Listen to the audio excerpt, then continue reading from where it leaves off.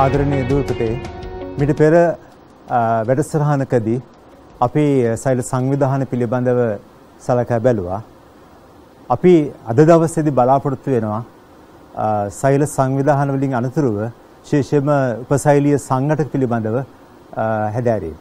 විශේෂයෙන්ම සෛලයක විශේෂයෙන්ම අත්‍යවශ්‍ය වෙච්ච කොටස් හතරක් තියෙනවා. ඒ තමයි ප්ලාස්ම පටලයක් තියෙන්න ඕනේ, සයිටෝසෝලයක් තියෙන්න ඕනේ, ඒ වගේම DNA තියෙන්න ඕනේ, ඒ වගේම රයිබෝසෝම තියෙන්න ඕනේ. ඕනෙම සෛලයක මේ සංඝටක හතර තිබිය යුතුයි. ඒ අනුව මේ සෛල සෛල ප්ලාස්මයේ ආවරණය කරන ඒ පටලය විශේෂ වැදගත්කමක් සපයනවා සෛලයේ පැවැත්ම සඳහා. විශේෂයෙන්ම සෛලය ආවරණය කරන ඒ භෞතික ස්තරයක් හැටියට තමයි සලකන්නේ ප්ලාස්ම පටලය.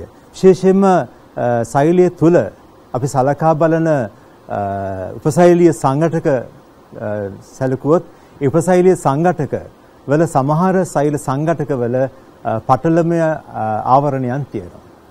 ඒවා අපි ඉන්ද්‍රියකා වශයෙන් සලකා ගන්නට පුළුවන්. ඒ වගේම පටලමය නොවන ව්‍යුහයන් තියෙනවා.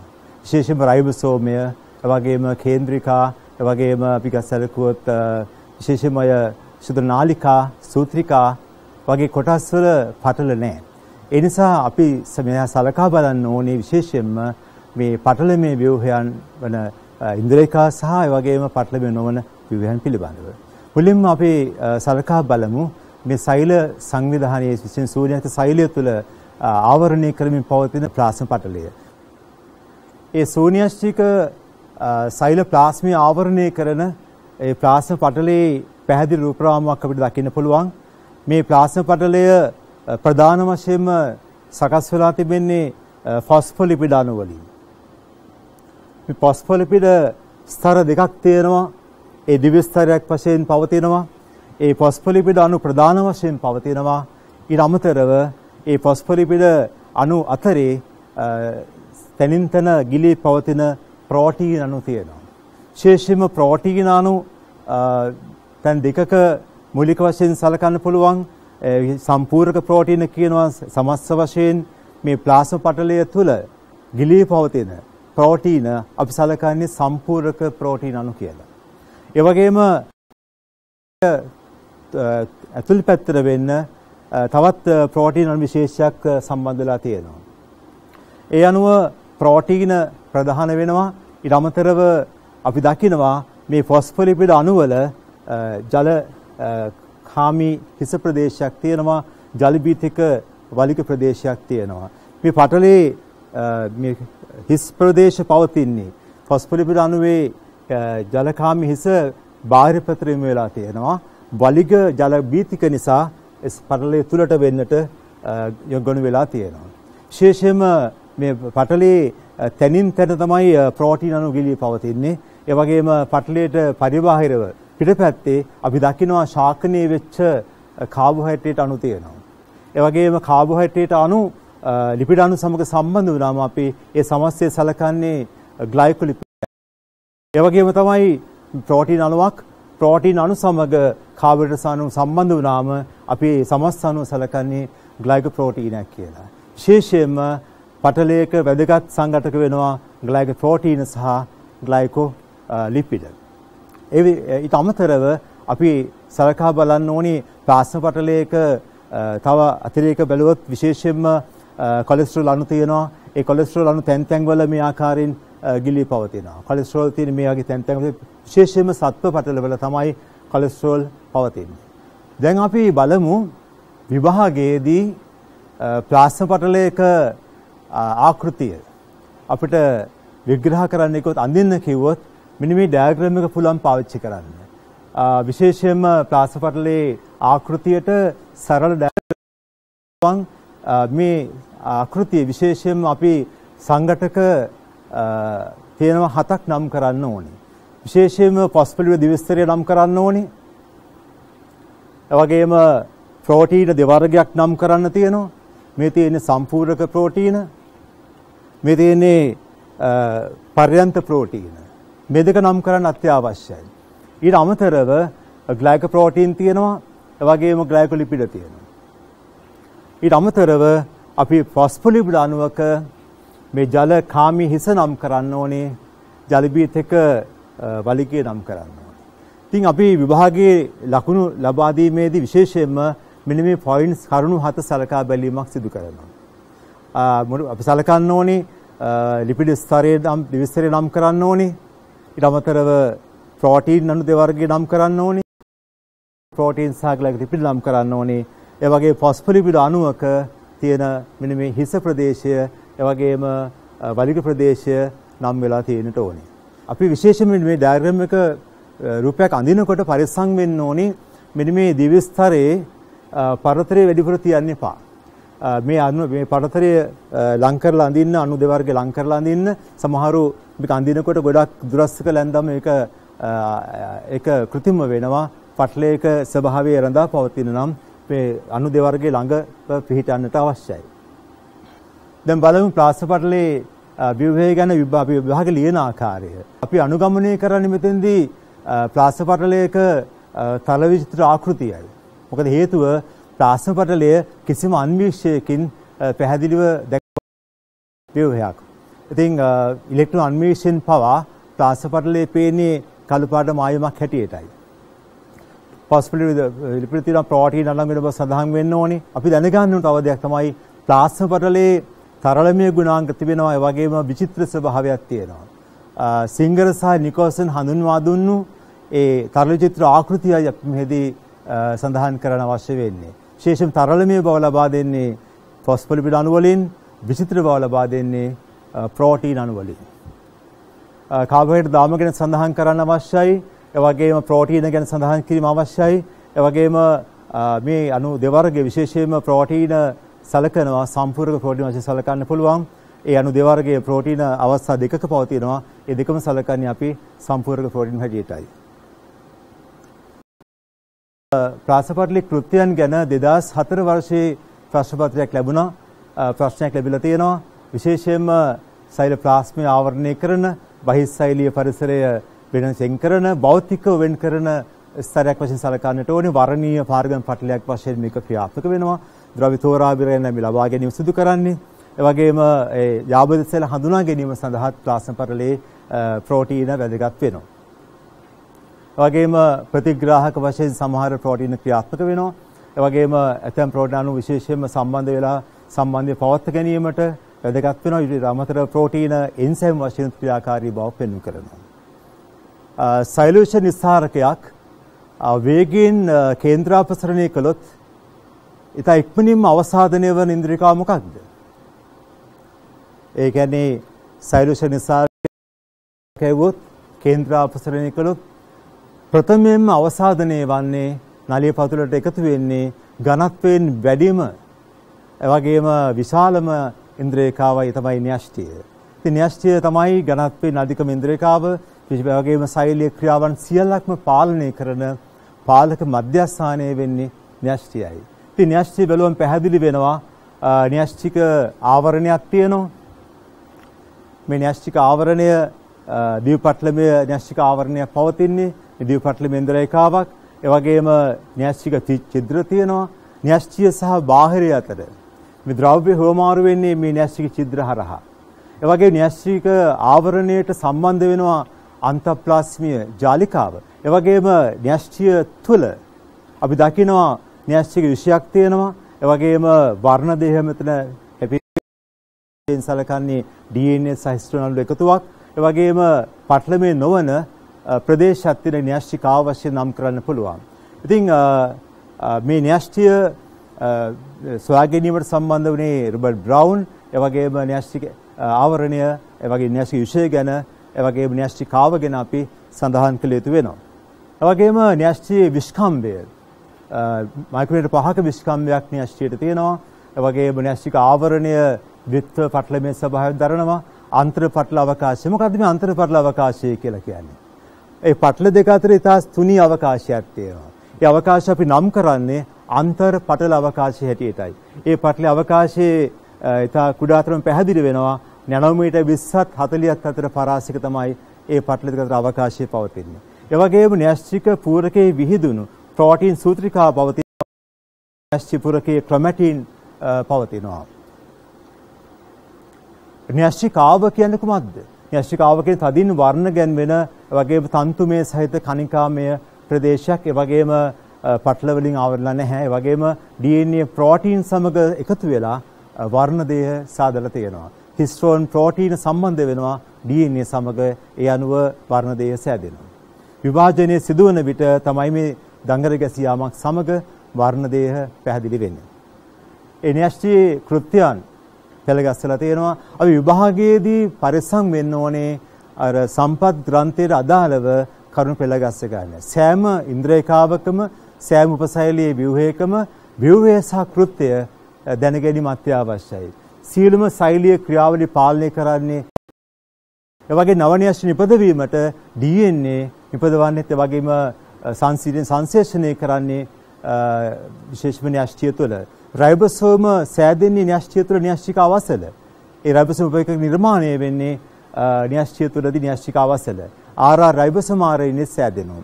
ඒ වගේම mRNA සහ tRNA සංශ්ලේෂණය වෙන්නේ න්‍යෂ්ටිය තුළ.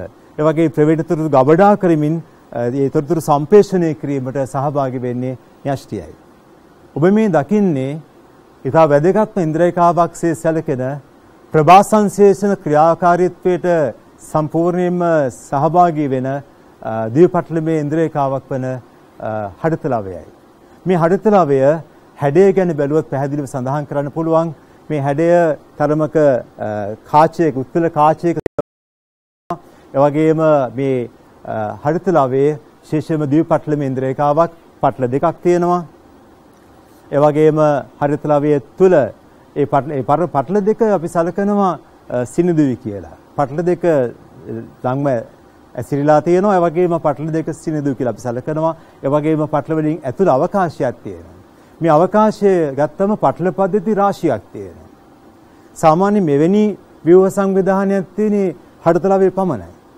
මේ පටල පද්ධති වලට අපි තෛලකොයිඩ් කියලා කියනවා. මේ තෛලකොයිඩයක් මම මේ පෙන්නලා තියෙන්නේ. මේ එක මත එක සම්පත් වෙලා තියෙනවා කාසි ආකාරයට. ඒ වගේම තෛලකොයිඩ වල තමයි විශේෂයෙන්ම ප්‍රභා පද්ධති සංවිධානය වෙන්නේ. Chlorophyll A, chlorophyll B, carotene xanthophyll ගොනු වෙලා ප්‍රෝටීන සමග සම්බන්ධ වෙලා ප්‍රභා පද්ධති සෑදෙනවා. ඒ පද්ධති සියල්ලක්ම තැම්පත් වෙන මෙන්න මේ පංජර කණිකාවල ග්‍රැනාවලයි. මේ ග්‍රැනා සම්බන්ධ කරන අන්තර් ග්‍රැනා සූත්‍රයක් දකින්න පුළුවන්. විශේෂම වැදගත් සංකල්පයක් සඳහන් කරන්න ඕනේ මොකද්ද? පංජරය. මොකද්ද මේ පංජරය කියලා කියන්නේ? පංජරය කියලා කියන්නේ මෙන්න මේ පටල පද්ධති වලින් පරිබාහිරව පවතින තරලමේ අවකාශය. ඒ තරලමේ අවකාශය අපි කියන්නේ පංජරය කියලා. ඒ පංජරය දැන් අපි පටලව ගන්න අවශ්‍ය නැහැ. මයිටොකොන්ඩ්‍රියා තුලත් මෙවැනි අවකාශයක් තියෙනවා. ඒක පටල පද්ධති මයිටොකොන්ඩ්‍රියා වල නැහැ. ඒ මයිටොකොන්ඩ්‍රියා වල තියෙන්නේ පූරකය කියන අවකාශය. මේ හරිතලවේ තියෙන්නේ පංජරය කියන අවකාශය. ළමයි බොහෝ විට පටලව ගන්නවා. මේ පද්ධතික මාරු කරලා භාවිතා කරනවා.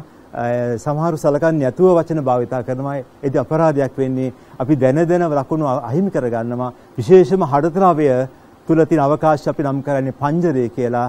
ඒ වගේම මඩකොණ්ඩියා තුල අවකාශය පුරකේ කියලා. ඒ වගේම පංජරය තුල තියෙන සංඝටක බැලුවොත් පංජරතර කැපී පෙනෙන පිෂ්ඨ කණිකා තියෙනවා. ප්‍රභා සංශ්ලේෂණයේදී ප්‍රතිඵල වන ග්ලූකෝස් පිෂ්ඨයේ වශයෙන් තැම්පත් වෙනවා. ඒ අනුව මෙන්න මේ පිෂ්ඨ කණිකාවල පිෂ්ඨය තැම්පත් වෙනවා. ඒ වගේම DNA රවුම් DNA තියෙනවා. ඒ රවුම් DNA පැවතීම සමානතාවයක් වෙන මයිටොකොන්ඩ්‍රියා වලත්. මයිටොකොන්ඩ්‍රියා තුලත් පුරකේ රවුම් DNA පවතිනවා. ඒ අනුව ඒක සමානතාවයක් සලකන්න පුළුවන්. ඒ වගේම රයිබෝසෝම තියෙනවා. නිදහස් රයිබෝසෝම තියෙනවා. ඒ වගේම රයිබෝසෝම සම්බන්ධ වෙලා පොලිසෝම සෑදෙන්න පුළුවන් mRNA තන්තුවකට తాවකාලිකව රයිබෝසෝම සම්බන්ධ වුණාම අපි ඒකට පොලිසෝමයක් කියලා කියනවා. ඒ වගේම තමයි ලිපිඩ ගෝලිකා තියෙනවා. ඉතින් මෙන්න මේ සංඝටක සහිතව අපි අනිවාර්යයෙන්ම මේවා නම් කරන්න ඕනි. අපි අඳිනකොට ඩයග්‍රෑම් එකක් අඳිනකොට පටල දෙක අනිවාර්යයෙන්ම තියෙන්න ඕනි. ඒ වගේම පංජර කණිකා තියෙන්න ඕනේ. අන්තර්ගත සූත්‍රය තියෙන්න ඕනේ. හොඳයි මෙන්න දර්ශීය ව්‍යුහයේදී අවශ්‍ය කරුණු ටික පෙළගස්සලා තියෙනවා. දියුත්තර කාච හැඩති බව ස්වභාවය සඳහන් කරන්න ඕනේ. ඒ වගේම පටල දෙක සිනිඳු බව කියන්න ඕනේ. ඒ වගේම පටල අතර අවකාශයක් තියෙන බව කියන්න ඕනේ. ඒ පටල පද්ධතිය මගින් ඒ තෛලකොඩ සෑදෙන බව සඳහන් කරන්න ඕනේ. ඊට අමතරව තෛලකොඩ මත එක තැම්පත්ලා පංජර කණිකා සෑදෙන බව සඳහන් කරන්න ඕනේ. ඊට අමතරව පිටතින් තියෙන අවකාශයේ පංජරයේසේ සලකන්නට ඕනේ. ඒ වගේම චක්‍රීය DNA 70 රයිබෝසෝම රයිබෝසෝ ඒ වගේම ලිපිඩ ගෝලිකා තියෙන බව සඳහන් කරන්න ඕනේ. දැන් බලමු මයිටොකොන්ඩ්‍රියම ගැන. ඊට වැදගත්ම දිවපටල මේන්ද්‍රේකාවක් මයිටොකොන්ඩ්‍රියම කියන්නේ. ඒ වගේම ඇතුළු පිට පටලයේ තිබෙනවා ඒකාකාරයි සිනිඳුයි ඇතුළු පටලේ මියර සාදමින් රළු ස්වභාවයම මියර සාදන නිසා මේ ඇතුළු පෘෂ්ඨයේ වර්ගඵලය වැඩි වෙලා තියෙනවා. ඒ අනුව ශ්වසන ක්‍රියාකාරීත්වය සිදු වෙන්නේ ස්වාය ශ්වසනය වෙන මයිටොකොන්ඩ්‍රියා තුලයි මේ ඇතුළු පටලේ මියර පැවතීමෙන් වර්ගඵලයේ වැඩිවීම තුළ ශ්වසන එන්සයිම ඔක්සිකාරක ෆොස්ෆොරිලීකරණ එන්සයිම බෙහෙවින් රඳව තබා ගන්න පුළුවන් නිසා ඒ ක්‍රියාකාරීත්වයේ කාර්යක්ෂමතාවය වැඩි වෙලා තියෙනවා. මේක ඇතුලේ අවකාශයට අපි කියනවා පූරකය කියලා කියනවා. මේ ඇතුලේ රවුම් DNA වෘත්තාකාර DNA තියෙනවා. ඒ වගේම 70 රයිබෝසෝම තියෙනවා. ඒ වගේම අවකාශයේ පූරකය කියලා අපි කියනවා. ඒ වගේම මේ ඇතුලේ ෆොස්ෆේට් කණිකාක් තියෙනවා. මෙන්න මේ පොයින්ට්ස් එක සඳහන් කරන්න ඕනේ. පටල දෙකක් පවතින බව, ඒ වගේම සොසේජ් ආකාරයේ හැඩයක් පවතින බව අපි ඩයග්‍රෑම් එක අඳිනකොට පරිස්සමෙන් අඳින්න ඕනේ ඒකාකාරව සොසේජ් ආකාරයෙන් මේක අඳින්න අවශ්‍ය වෙන්නේ. ඒ වගේම සිනිඳු ආකාර බව පටලයේ ඇතුළු පිටපත් පටලයේ මියර පවතින බව සඳහන් කරලා තියෙනවා. ඒ වගේම සවුණුන්ත කණිකා සවුණුන්ත අංශු තියෙනවා ඇතුළු පැලට සම්බන්ධ වෙලා. ඒකට ඔක්සිසෝම කියලාත් සඳහන් කරන්න පුළුවන්. ඒ වගේම පටල අතර අවකාශයක් තියෙනවා සුළු වශයෙන්. ඉතින් ඇතුළු අවකාශයේ පූරකයයි චක්‍රීය DNA තියෙන බව සඳහන් කරන්න අවශ්‍යයි 70 රයිබෝසෝම තියෙනවා. ඒ වගේම ෆොස්ෆේට් කණිකා තියෙනවා, එන්සයිම් තියෙනවා. වගේම එක දෙයක් සඳහන් කරන්න අවශ්‍යයි සෑම මයිටොකොන්ඩ්‍රියමකම විෂ්කම්භය එකයි මැක්‍රිමීටර්. මේක මම සරල ප්‍රශ්නයක්සේ ඔබට ඉදිරිපත් කරනවා කල්පනා කරන්න. ඇයි සෑම මයිටොකොන්ඩ්‍රියකම විෂ්කම්භය එකයි මැක්‍රිමීටර් දක්වා සීමා වෙලා තියෙන්නේ? ඒ හේතුව තමයි පටලේ හැමතැනින්ම ඔක්සිජන් ලැබෙනකොට ඒකාකාරව ඇතුළු පටල හරහා ඔක්සිජන් ව්‍යාප්ත වෙන්න අවශ්‍යයි. ඔක්සිජන් ලැබෙන්න ඕනේ. එතකොටයි ශ්වසනයේ ඉලෙක්ට්‍රෝන පරිවහන දාමයේ තාපන කාර්යක්ෂමතාවය සිදු වෙන්නේ. නිසා අනිවාර්යයෙන්ම සෑම මයිටොකොන්ඩ්‍රියකම ඒකයි මයික්‍රොමීටර් දක්වා සීමා වෙලා තියෙනවා. බහිස්සෛලීය සංඝටක විශේෂයෙන්ම මේ සෛලීය ආශ්‍රිතව තියෙන තව සංඝටක ගන්න බහිස්සෛලීය සංඝටක කියලා අපි නම් කරනවා. ඒ බහිස්සෛලීය සංඝටක ආකාර තුනකින් අපි සලකා බලනවා. සෛල බිත්තිය, එවැගේම සෛල සංදි, එවැගේම තමයි බහිස්සෛලීය පූරකය. ඉතින් මෙවැනි ප්‍රශ්නයක් ආවොත් බහිස්සෛලීය සංඝටක පිළිබඳව රචනා ප්‍රශ්නයක් ලැබුණොත් අපි අනිවාර්යයෙන්ම මෙන්න මේ ප්‍රධාන සංඝටක තුන ආවරණය කරන්න අවශ්‍යයි. අපිට සෛලි බිත්තියකම ප්‍රාථමික සෛලි බිත්තිය තියෙනවා. ඒ වගේම ද්විතීයික සෛලි බිත්තිය තියෙනවා. ඒ දෙක සඳහන් කරන්න ඕනේ. ඊට අමතරව සෛල සංදි බැලුවොත් සෛල සංදි ආකාර තුනකින් තියෙනවා. තද සංදි, ඩෙස්මසෝම සහ හිදස් සංදි තියෙනවා. බහිස්සෛලීය පූරකය වෙනම සලකා බලන්න අවශ්‍යයි. මේ දකින්නේ අපි සෛලි බිත්තියේ ව්‍යුහයයි විශේෂයෙන්ම සෙලියුලෝස් ශුද්‍ර තන්තු අහඹුල ව්‍යාප්ත වෙලා තියෙනවා. මොකද ප්‍රාථමික සැලිබෙත්තියේ මේ සෙලියුලෝස් තන්තු තියෙන අහඹු ආකාරයට මේ ද්විතීක සැලිබෙත්තිය ක්‍රමවත්ව සකස් වෙලා තිබෙනවා. ඒ වගේම හෙමිසෙලියුලෝස් තියෙනවා, පෙක්ටින් තිබෙනවා. ඒ වගේම මේ තාමත් නම්‍යශීලීව ඇදෙන සුළු ව්‍යුහයක් මේකේ බැලුවොත් මෙන්න මේ තියෙන්නේ සෙලියුලෝස් ශුද්‍ර තන්තු අහඹු ලෙස සකස් වෙලා තියෙනවා. ඒ වගේම මේ අපි සලකන්නේ ප්‍රාථමික සැලි බිත්තිය වශයෙන් ප්‍රාස පටලය සම්බන්ධ වෙලා තියෙනවා. ඒ පැත්තේ මධ්‍ය සූත්‍රයට සම්බන්ධ වෙලා තියෙනවා. සෛල සංදි ආකාර තුනක් තියෙනවා. විශේෂයෙන්ම මේ සෛල සංදි අදාළ වෙනවා සත්ව පටකවල යාබද සෛල සම්බන්ධ කරන සත්ව පටක ඉතා ක්‍රියාශීලී. එතකොට සෛල ගැලවෙලා යන්න පුළුවන්. ඒවා ඉතාමත් ශක්තිමත්ව සම්බන්ධ කර ගැනීමට ඩෙස්මස් මේ තියෙන ඩෙස්මසෝම කියන සෛල සංදි ආකාරය කැඩ්හැරීන් ප්‍රෝටීන් තන්තු ව්‍යාප්ත වෙලා තියෙනවා. ඒ අනුව දැඩි ලෙස පටල දෙක සම්බන්ධ කර ගැනීමට මේ කැඩ්හැරීන් ප්‍රෝටීන් තන්තු ඉවහල් වෙනවා. ඒක අපි සලකන්නේ ඩෙස්මසෝම හැටියට පේශී පටකවල තමයි වැඩි වශයෙන් ඩෙස්මසෝම තියෙන්නේ. ඒ වගේම තමයි තද සංදි කියලා කියන්නේ යාබද සෛල වටල අතරින් ද්‍රව්‍ය කාන්දු වියාම වළක්වන තදට සම්බන්ධ වෙච්ච එකට සම්බන්ධලා තියෙන සංදි විශේෂයක් සමි අපිච්චදේ මෙම තද සංදි සුලභව පවතිනවා. ඒ වගේම තමයි හිදැස් සංදි වලින් යාබද සෛල එකිනෙක කෘත්‍රිම ලෙස සම්බන්ධ කරවීමට මේ සිදුරු සහිත හිදැස් සංදි වල සිවහල් වෙනවා. හෘද පේශී පටකේ වගේම සත්ව සෛලවල මේ තත්ත්වය දකින්න පුළුවන් පැහැදිලිවම. මේ අපි දකින්නේ බහිස්සෛලීය පූරකයේ ස්වභාවයයි. ඉතින් මේක අලුත් ප්‍රදේශයට බහිස්සෛලීය පූරකය තා පැහැදිලි රූපරාමයක් ප්‍රදර්ශනය කරලා තියෙනවා. මේ බහිස්සෛලීය පූරකය විශේෂයෙන්ම පටලයට පරිබාහිරව පවතින සෛලයේ තුලින් සංශ්ලේෂණ වූ ද්‍රව්‍ය බැහැරවන මේ බහිස්සෛලීය පූරකය විශේෂයෙන්ම ප්‍රෝටියෝග්ලයිකෑන් වලින් සහ වගේම කොලජන් කෙඳිති වලින් සකස් වෙලා තියෙනවා. විශේෂයෙන්ම කොලජන් කියන්නේ ග්ලයිකෝප්‍රෝටීන් වර්ගයක් වශයෙන් තමයි සැලකලා තියෙන්නේ. ඒ වගේම බහිස්සෛලීය පූරකය විශේෂයෙන්ම වැදගත් වෙනවා සෛලයේ පැවැත්ම සඳහා. මේ සෛල පටලින් ඇතුළ අවකාශයේ මේ දකින්නේ සුදු කෙඳිති තියෙනවා. ඒත් සම්බන්ධතාවයක් තිබෙනවා. ඒ වගේම විතර තියෙනවා ෆයිබ්‍රොනෙක්ටින් තන්තු ඒත් සම්බන්ධතාවයක් තියෙනවා. ඉතින් මේ ආකාරයේ පූරකමේ අවකාශ අපි නම් කරන්නේ බහිස්සෛලීය පූරකයේ හැටියටයි. අපි මෙතෙක් සාකච්ඡා කළ කරුණුවල ඇගීමකට සම්බන්ධ වෙමු. ද්විත්ව පටල ඉන්ද්‍රිකා දෙකක් නම් කරන්න කියලා ප්‍රශ්නයක් දවස් 92 දීලා තියෙනවා. සෛල තුල විශේෂයෙන්ම සූර්යනක්ෂ සෛල තුල ද්විත්ව පටල ඉන්ද්‍රිකාවන් තුනක් තියෙනවා. අපි සඳහන් කරන්න ඕනේ න්‍යෂ්ටිය, එවැගේම හරිතලවය, එවැගේම මයිටොකොන්ඩ්‍රියම්. ඉන්ද්‍රිකා තුන නම් කරන්න පුළුවන්. එවැගේම සෛලවාදී සංකල්ප තුනක් නම් කරන්න කිව්වොත් විශේෂයෙන්ම අපි දන්නවා 2017 තියෙනවා. විශේෂයෙන්ම දැන් සකස් වෙලා තිබෙන බව ජීවීන්ගේ මූලිකතම ව්‍යුහමේ සාකෘතිමේක සෛලය වෙන බව සහ නව සෛල ඇති වෙන්නේ කලින් පැවති සෛල විභාජනින් බව සඳහන් කිරීම අවශ්‍යයි. ඒ වගේම තමයි මේ බැක්ටීරියා සෛලයක දැකිය නොහැකි ඒ වගේම දර්ශීය සත්ව සෛලයක. ඉතින් ඉන්ද්‍රිකා රාශියක් කියන්න පුළුවන්. ඉතින් අපිට ගන්න ප්‍රණ්‍යාශ්චය ගන්න පුළුවන්, අන්තප්ලාස්මික් ජාලිකාව ගන්න පුළුවන්, ඒ වගේම ගොල්ගි සංකේය ගොළුබු උපකරණ ගන්න පුළුවන්. ඊට අමතරව මයිටොකොන්ඩ්‍රියා ගන්න පුළුවන්. ඒවා සඳහන් කරන්න පුළුවන්. පිළිතුර හැටියට. ඒ වගේම සෛල පටලේ ප්‍රධාන සංඝටක ලිපිඩ වර්ගය අහනවා. ඉතින් අද අපි අධ්‍යයනය කළා ප්ලාස්ම පටලේ අංක වැඩි වශයෙන් පවතින සංඝටකය වෙන්නේ ෆොස්ෆොලිපිඩ. ඉතින් අපිට බැලුවම පැහැදිලි වෙනවා මේ වගේ ප්‍රශ්න නිරන්තරයෙන් අපේ ප්‍රශ්න පත්‍ර ලැබිලා තියෙනවා. විශේෂයෙන්ම මේ සෛල යටතේ නිරන්තරයෙන් ප්‍රශ්න ලැබෙනවා. අනිවාර්යයෙන්ම නිපුණතා මට්ටම් යටතේ විශේෂයෙන්ම ඉගෙනුම්ඵල සියල්ලක්ම ආවරණය කිරීම අවශ්‍යයි. ඉගෙනුම්ඵල ප්‍රශ්න වලට හරවලා පුළුවන් අධ්‍යයනය කරන්න. අපි අද මේ වැඩසටහනත් සම්බන්ධ කරගෙන ඉගෙනුම්ඵල සියල්ලම ආවරණය කළ තිබෙනවා. තව එකක් දැනගන්න ඕනේ. ඒ තමයි ශාක සෛලයක් කොහොමද සත්ව සෛලයකින් වෙනස් වෙන්නේ කියන ඉගෙනුම්ඵලයක් තියෙනවා. ඒ කියන්නේ ඒකෙදි ශාක සෛලයක මධුරිතකයක් පවතින බව, ඒ වගේම සත්ව සෛලයක මධුරිතකයක් නැහැ. ඒක වෙනසක් වශයෙන් ගන්න පුළුවන්. කේන්ද්‍රිකා තියෙනවා සත්ව සෛල තුල කේන්ද්‍රිකා නෑ ශාක සෛල තුල. ඉතින් සෛල බිත්තියක් මූලික වශයෙන් දකින්න පුළුවන් විශේෂයෙන්ම ශාක සෛලවල සෛල බිත්තිය දකින්නේ නෑ සත්ව සෛලවල. ඉතින් වගේ පැහැදිලිව අපිට සලකා බලන්න පුළුවන් ඒ වෙනස්කම් සලකා බලන්න පුළුවන්. ඉතින්